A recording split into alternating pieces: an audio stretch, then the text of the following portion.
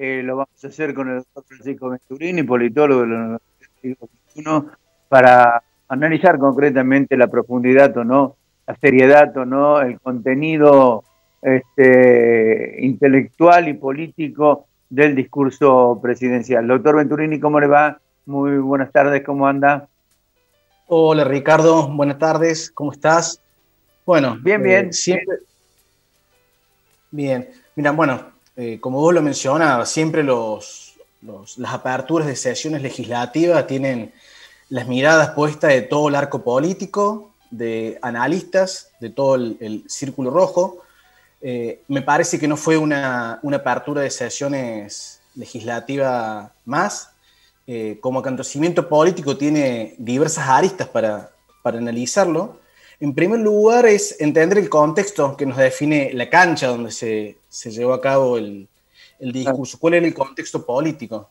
Eh, era un contexto de un gobierno que llega a días de un, de un escándalo por el tema de las, de las vacunas, intenta eh, relanzar su gobierno, ¿no? Eh, se vuelve a inclinar hacia, hacia el nicho hacia el nicho eh, kirchnerista, impulsa eh, un fuerte contraste con, lo que fue el gobierno de Mauricio Macri.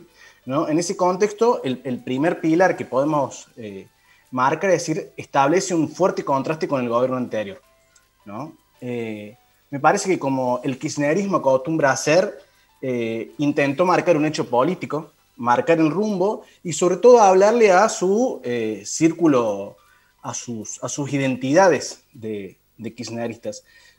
tuvo muchas distancias con, con el, aquel apertura del 2019 que parece muy lejana, ahí en el, en el 2020, donde hablaba de eh, una Argentina entre todos, este, este, esta apertura de sesiones más que el, el, el, entre todos marcó el entre nosotros, me, eh, me puedo llegar a, mencionar. Dos pilares, dos, temas fuertes ¿no? en el discurso. Uno que fue el frente judicial, ¿no? la cuestión económica, muy light frente a lo que fue el, vacunatorio VIP, discurso poco, poco conciliador. ¿no? Ahora, Francisco, yo decía una cosa, eh, el ataque a la justicia viene precisamente en un momento donde eh, el acontecimiento más importante, eh, en este caso judicial, ha sido la condena a Lázaro Báez y prácticamente toda su familia de 12 años, precisamente al hombre que fue el socio de Néstor Kirchner o el hombre que manejó la obra pública en la época de Néstor Kirchner.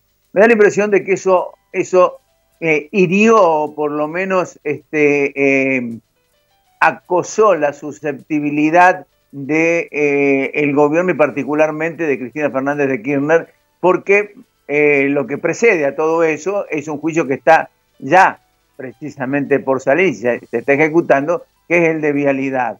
Digo, esto puede haber influido de alguna manera en este ataque virulento con actitudes que usted conoce perfectamente bien, son absolutamente inconstitucionales, más allá de la verborragia que puede emplear Barrilli para, eh, Parrilli para decir vamos a formar una comisión bicameral, vamos a seguir a la justicia, es decir, hiriendo prácticamente la sentencia de Montesquieu de la división de poderes. Eh, fue muy claro eh, en el discurso del presidente eh, el volver a recostarse sobre el kirchnerismo duro. en primer lugar, avanzar sobre la institucionalidad que tiene que ver con, con la justicia, sobre todo la cuestión judicial, un, un tema, me parece, central en la agenda política eh, actual de la Argentina. Y, me parece que el kirchnerismo y la oposición van a tener un dilema muy fuerte sobre cómo tratar un tema judicial en un proceso electoral. ¿no? Eh, fue muy claro el, eh, Fernández cuando plantea el Poder Judicial está en crisis. Sí, hay, hay un cierto consenso que hay que necesita una reforma, pero me parece que el debate de la reforma de un poder republicano en un proceso electoral es volver a las, eh, a las iniciativas del kirchnerismo de vamos por más, redobla la apuesta después de un escándalo. Claro, claro, claro. y además pone en peligro la institucionalidad, que me da la impresión es un elemento importante por lo que usted decía, la ausencia de este, comentarios económicos proyectos económicos, porque da la impresión, si no hay institucionalidad, si no hay justicia, las inversiones en la Argentina hay que descartarlas absolutamente. No, y en lo económico fue muy claro el, presidente, no le habló al círculo privado, sino que planteó que lo central de la economía va a estar en la aula pública. Eso marca una, agenda de la economía eh, movilizada, motorizada por la obra pública, donde el sector privado directamente no se lo, no se lo en algunos pasajes de manera bastante liviana se habló de los, del Consejo Económico, pero no hubo eh, medidas, ¿no? sino que el, eje económico fue el contraste y la búsqueda del enemigo a través de, eh, la, eh, de la relación que tuvo el expresidente Mauricio Macri con el, el Fondo Monetario Internacional y el impulso de la causa penal que anunció eh, eh, Alberto Fernández en, la apertura de sesiones. Es la primera vez que en un discurso, no, para que tengamos dimensión de lo que estamos hablando, es la primera vez que en un discurso presidencial un jefe de Estado denuncia a un ex jefe de Estado que lo va a investigar la justicia eh, federal. Sí, sí, de, todas maneras, de todas maneras, este, si uno tiene que recurrir al argumento que utilizó Fernández para eh, criminalizar la, la, acción o la gestión de Mauricio Macri, se puede de alguna manera tomar elementos de en su momento lo que sucedió en el gobierno tanto de Cristina Fernández de Kirchner como de Néstor Kirchner. Es decir, devolución de favores que no, bien, no hacen, digamos, digamos no, no convienen en un momento donde todavía no se ha arreglado con el Fondo Monetario Internacional ni con el Club de París, ¿no? Claro, yo si le tuviera que poner un título al discurso del presidente, le llamaría el reverdecer de la grieta. Me parece que eh, Alberto y Cristina se recortaron en, su, lado más cómodo, ¿no? Eh, esa grieta que eh, es la división binaria, maniquea de la sociedad argentina, donde entre kirchneristas y antikirchneristas. Imagino que imaginan un escenario político de fragmentación dentro de la, de la, oposición, donde están apuntando puntualmente a a las, bancas que se renuevan, solamente están donde va a haber eh, el proceso electoral, va a estar provincializado en determinados lugares con un discurso eh, nacional. Eh, y hoy la grieta le sirve, ¿no? Las grietas, con, sobre todo para, después de un gran escándalo, volver al discurso de identificación que, que tienen con su, con su electorado. Claro, hoy la grieta sirve y contrasta con aquella visión dialoguista que usted mencionaba de la apertura de sesiones del año pasado.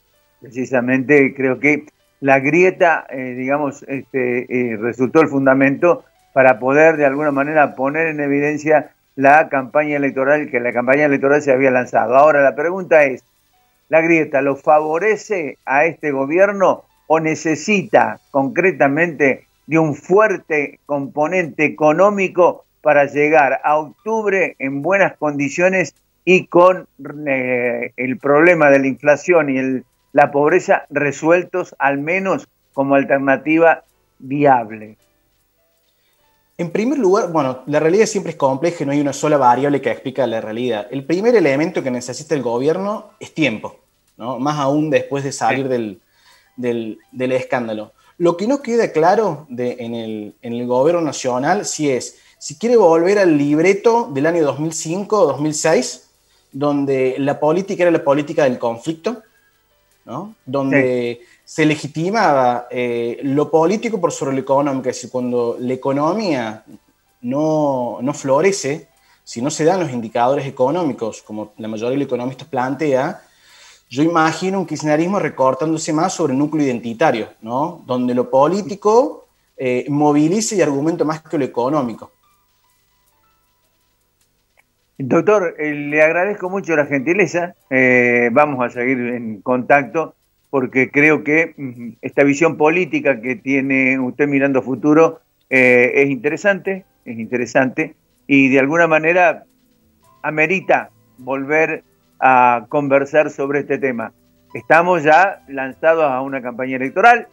Eh, esto último que decía usted, el tiempo que necesita el gobierno para llegar a octubre con, digamos, condiciones económicas favorables y eh, apagando un poco los incendios que se presentan en forma, en forma permanente o periódicamente, son de alguna manera causales para, para el análisis futuro.